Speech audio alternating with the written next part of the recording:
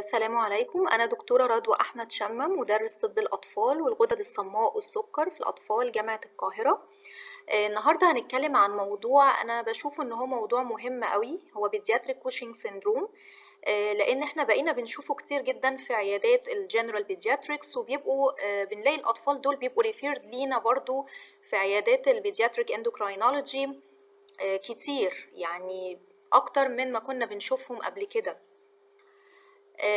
هنعرض الموضوع بتاعنا من خلال كيس سيناريو والكيس دي it's a true story Female patient 9 month old presented to us at endocrine clinic complaining of progressive weight gain. Perinatal history normal birth weight. Nutritional history she was breastfed.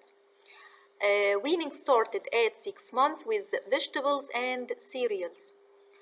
Uh, no intake of any medications, especially we asked about the steroids intake and the mother denied completely the use of any steroids. By examination, we found that her weight 13 kilograms on plus 3.6 standard deviation score and her length 65 centimeter at minus 2.2 standard deviation score.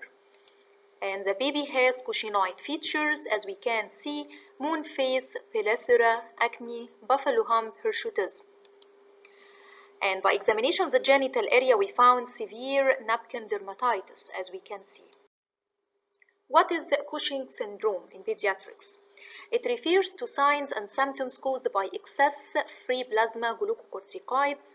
Excess glucocorticoids may be due to either increased endogenous production or prolonged exposure to exogenous glucocorticoids. While endogenous Cushing syndrome is a rare disease, iatrogenic Cushing syndrome from glucocorticoid products is commonly seen in clinical practice. We classify pediatric Cushing syndrome according to etiology into either ACTH dependent, which is under the control of ACTH, adrenocorticotrophic hormone secreted from the anterior pituitary, which stimulates cortisol production from the adrenal glands, or ACTH independent, in which cortisol is secreted directly from the adrenal glands, not under the control of ACTH. As we can see, ACTH dependent as ACTH secreting pituitary adenoma, Cushing disease, or maybe ectopic ACTH syndrome, ectopic production of ACTH either from benign or malignant non-endocrine tumors, as um, as we can see as bronchogenic carcinoma, small cell carcinoma of the lung, pheochromocytoma may be associated with ectopic ACTH secretion and others. ACTH independent as exogenous glucocorticoid intake, known as drug-induced or iatrogenic Cushing, adrenocortical tumors, either adenoma or carcinoma, and primary adrenocortical hyperplasia. These are the clinical manifestations of Cushing syndrome as we all know, and we classified them according to their frequency, from the most common to the least common. Truncal obesity, moon face, hypertension, skin atrophy and bruising, diabetes or glucose intolerance, gonadal dysfunction, muscle weakness, hirsutism, acne, mood disorders, osteoporosis, fungal infections. We returned back to our case and we asked the mother uh, we took detailed history and we asked her what type of cream she used for this napkin dermatitis. She told us that she got a cream from the pharmacy. Uh, we asked if it contained steroids or not. She doesn't know. We asked her to show us this type of cream she used. And it is a surprise as we found that it is this type of cream. It contains glu clobetasol propionate 0.05% and she used it three times per day for two months continuously. And when we searched about this type of cream we found that clobetasol propionate 0.05% classified as class 1 very potent type of steroids. So we are in front of a case of iatrogenic Cushing syndrome from the use of this topical steroid cream in very large doses continuously for two months. What is iatrogenic Cushing syndrome? The most common cause of iatrogenic or drug-induced Cushing is glucocorticoid intake by different routes, either injected, oral, epidural, inhaled nasal, or topical. Risk of topical steroids is very high in infants and children compared to adults due to higher body surface area, status of the skin, when the keratinized layer of the skin is damaged totally or partially, as this patient as she has she had severe napkin dermatitis with damage of the keratinized layer of the skin which allows much more rapid effective drug penetration and permeation. Also coverage of the skin after application of this topical cream increases its absorption. Sequelae of this uh, of excess steroid intake. It leads to suppression of the hypothalamic pituitary adrenal axis, delayed or slow recovery from adrenal insufficiency. When we start withdrawal of these corticosteroids or tapering, this leads to psychological effects on those infants and children. Also suppression of growth, leading to short stature and reduced final height potential. Arrest or failure of pubertal onset or progress, also, bone health is markedly affected with failure of gaining optimal adult bone mass. Adrenal suppression, secondary to exogenous corticosteroids, this is the most common cause of adrenal insufficiency.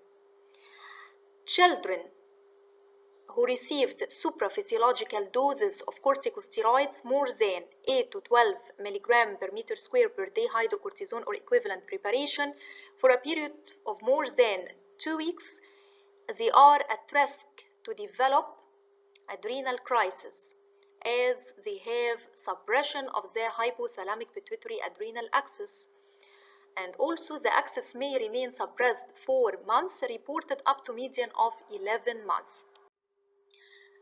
Here uh, we have to know when I have to taper glucocorticoids.